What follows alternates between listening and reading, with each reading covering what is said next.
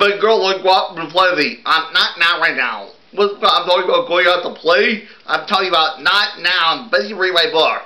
Reading book all night. It's a good book. I want to finish it. What you read my book? Let me tell you. There's a tiger in my book. There's a lion in my book. There's a sneaky alligator I can spy on in my book. Sometimes all I need is a book to read.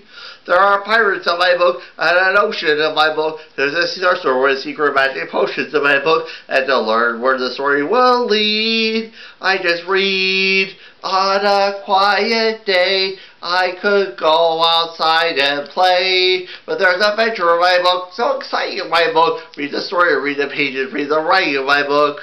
Sometimes all I need is a book to read. Let's go want read books. What? We want read books? I don't want read books. Um, McGrolan, McGrolan, what is it now? I'm afraid. What are you afraid of? Well, uh, monsters, they're screamy.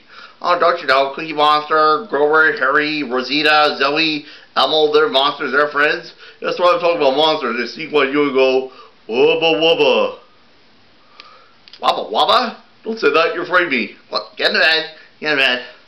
Well, it's just your imagination. Or just, uh, we like, like balloons, alright? I like medium-sized balloons, yes. Large balloons. Okay, we establish it like balloons. So, imagine balloons. Like, yeah, it's hard. Here in the middle of imagination, right in the middle of my head, I close my eyes and my home is at home, my bed isn't really my bed. I look inside and discover fate are sometimes strange and new.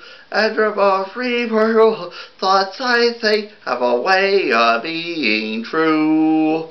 Here in the middle of imagination, right in the middle of my mind, I close my eyes and the night is dark, the things I lose I find. Time stands still and the sky is clear and the wind is warm and fair and the nicest place is the middle of imagination when I'm there.